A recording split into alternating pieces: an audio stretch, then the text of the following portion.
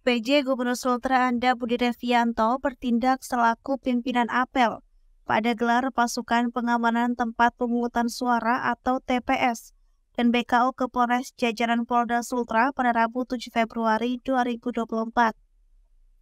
Apel itu dalam rangka pengamanan tahapan pemungutan suara pada pemilu 2024 Apel gelar pasukan pengamanan itu merupakan bagian dari pelaksanaan Operasi Mantap Brata Anoa tahun 2024 yang bertujuan untuk mengawal dan mengamankan pemilu agar berjalan sesuai dengan ketentuan dan peraturan perundang-undangan yang berlaku. Sebanyak 22.889 personil dilibatkan yang terdiri dari berbagai unsur seperti Polri, TNI dan Linmas untuk mengamankan pemilu 2024 di Sultra. PJ Gubernur Sultra Anda Budi Revianto mengingatkan akan tiga hal esensial dan mendasar kepada seluruh personil pengaman TPS pemilu. Pertama, kenali dan pahami tugas pengamanan TPS dengan baik.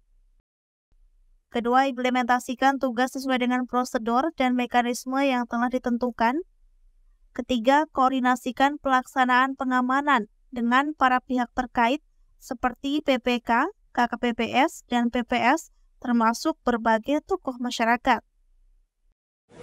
Hari besar kita melepas rekan-rekan kita yang untuk melaksanakan pengamanan TPS termasuk juga personil BKO, Foresta, Polres jajaran Polda Sultra di dalam rangka pengamanan pemilu. Enam hari lagi kita akan melaksanakan pengamanan pemungutan suara. Ini untuk menunjukkan kesiapan TNI Polri, termasuk juga Linmas dan stakeholder terkait. Kesempatan ini juga kita ngecek, kita menyampaikan beberapa pesan. Esensinya adalah tugas dapat terselenggara dengan baik, lancar, dan tidak ada korban baik masyarakat termasuk juga ya petugas pengamanan itu sendiri. Mohon doa resu dan dukungan dari rekan-rekan semua. Semoga segala sesuatunya dapat berjalan dengan baik.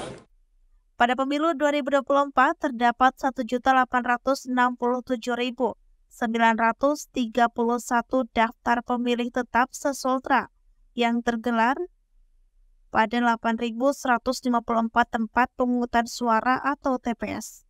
Tim Liputan Kompas TV Kendari, Sulawesi Tenggara.